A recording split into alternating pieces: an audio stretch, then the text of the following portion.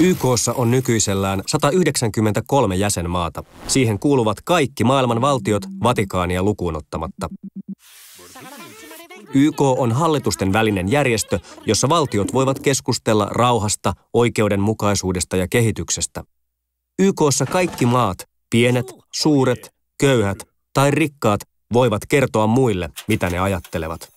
Tarve YK kaltaiselle järjestölle voi tuntua rauhallisessa nykysuomessa etäiseltä, mutta kun YK perustettiin, oli Suomi ja koko muu maailma hyvin erilaisessa tilanteessa. Oli vuosi 1945 ja toisen maailmansodan raunioista nousi 51 maasta koostuva järjestö.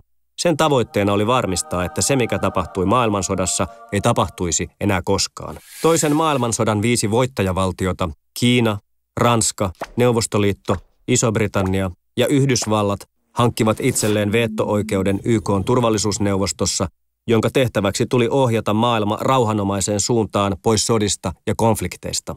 Kun toinen maailmansota oli päättynyt ja YK perustettu, luultiin voittajavaltioiden pääsevän asioista helposti yhteisymmärrykseen.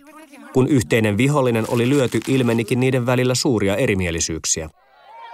Idässä Kiinalla ja Neuvostoliitolla oli oma näkemyksensä siitä, miten parempi maailma saavutettaisiin. Lännessä Yhdysvalloilla, Iso-Britannialla ja Ranskalla oli asiasta erilainen näkemys. Maailma jakautui kahtia ja alkoi aikakausi, jota kutsutaan kylmäksi sodaksi. Kylmä sota vaikeutti turvallisuusneuvoston mahdollisuuksia ratkaista maailman konflikteja.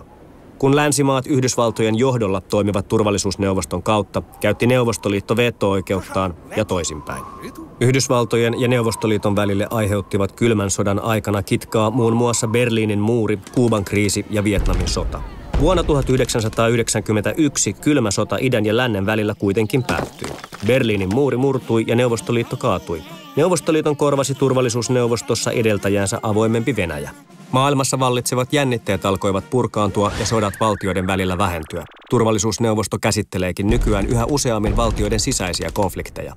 YKssa on viime vuosina luotu myös uusia kansainvälisiä sopimuksia ihmisoikeusrikkomusten, ilmastonmuutoksen ja kansainvälisen rikollisuuden hillitsemiseksi.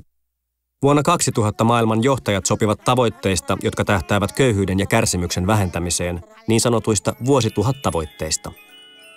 Tänä päivänä YK on paikka, jossa maailman maat voivat keskustella yhteisistä pelisäännöistä. YK on päätavoite on yhä sama kuin vuonna 1945, estää uusien maailmansotien syntyminen. Tai kuten YK on edesmennyt pääsihteeri Doug Hammarskjöld asian ilmaisi, YKta ei perustettu viemään ihmiskuntaa taivaaseen, vaan estämään sen päätyminen helvettiin.